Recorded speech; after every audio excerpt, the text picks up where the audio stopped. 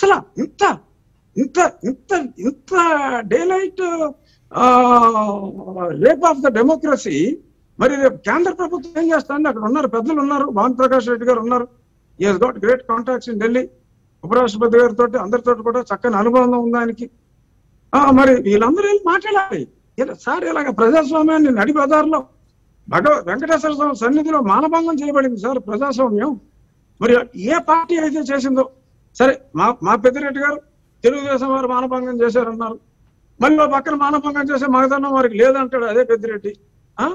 So మరి సరే ప్రజలందరూ అయితే మా పార్టీ వాళ్ళే మానభంగం చేశారంటున్నారు.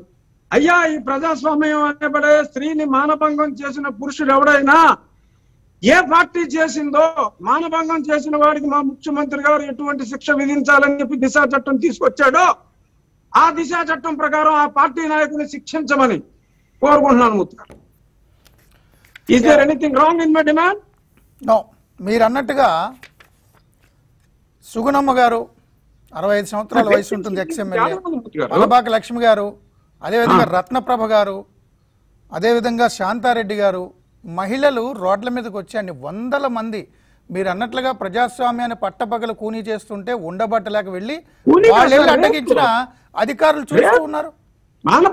పోలీసులు ఏమంటలేదు ఇంకా మీరు చెప్పిన దాని ప్రకారం చూస్తే ప్రజలకు అర్థమయ్యేలా చెప్పడం కోసం తిరుపతి పట్టణాన్ని ఎంచుకొని పల్లెలు కాకుండా తిరుపతి పట్టణాన్ని ఎంచుకొని యాభై ఏళ్ళకు ఒక వాలంటీర్ ఉన్నాడు కాబట్టి ఆ యాభై ఏళ్ళ జాబితా తీసుకొని ఒకటి నుంచి యాభై వరకు ఎవరు వైసీపీ ఓటర్లో వాళ్ళని సెగ్రిగేట్ చేసి మిగిలిన వాళ్ళు పోలింగ్ బూత్కి వెళ్తే గనక మనకు ఓటు పడదు కాబట్టి ఆ మిగిలిన ముప్పయో ఇరవై ఎనిమిదో లెక్కగట్టి అందులో చచ్చిపోయిన వాళ్ళు ఎవరో తెలుసుకుని ఇల్లు లేని వాళ్ళు ఇళ్ళలో లేని వాళ్ళు ఎవరో తెలుసుకుని వాళ్ళకు కూడా నకిలీ ఐడి కార్డులు క్రియేట్ చేసి దెయ్యాలతో కూడా ఓట్లు వేయించి చచ్చిన వాళ్ళతో ఈ తెలుగుదేశానికో బీజేపీకో ఓటు వెళ్తుందని గ్రహించినటువంటి వాళ్ళు అందరి ఓట్లు.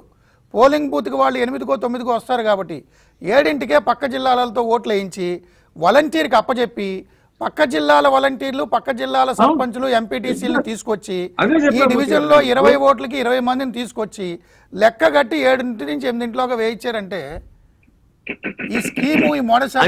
ఏమైనా అర్థమవుతుందా? అదే ఇప్పుడు నేను చెప్పింది కూడా అదే మూర్తి గారు. ఇప్పుడు ఓట్లు వేయటం వరకు చాలా ఎక్సలెంట్గా ఒక నూతన వరవడి ఒక మంచి ప్లాన్ మంచి చక్కటి స్కీమ్లో వెళ్ళారు. కాకపోతే ఈ కంప్లైంట్ విషయంలోనే పాపం చీఫ్గా మరి రాజనాల కాకరాల కాకియాల ఈ ఆయన సినిమా చూడటం మానేస్తున్నాడు. ఇంకా పాత విలన్ టైప్లోనే ఉండిపోయాడు పెద్దిరెడ్డి. అప్- అప్డేట్ అవ్వాలా పెద్దిరెడ్డి? ఏదైనా కొత్త సినిమాలు నాకులాగా చూసి కొంచెం అప్డేట్ అయితే బాగుంటుంది. పెద్దిరెడ్డి గారిని కూడా కొంచెం అప్డేట్ అవ్వాలని అబద్ధం చెప్పిన అతికినట్టు ఉండాలి. మరీ ఇంత దరిద్రంగా ఉండకూడదు అని కూడా సూచన ఇస్తున్నాను. మరి ఆయన స్వీకరిస్తారా? మళ్ళీ ఇంకొక పశువుతో నన్ను పోలుస్తారా?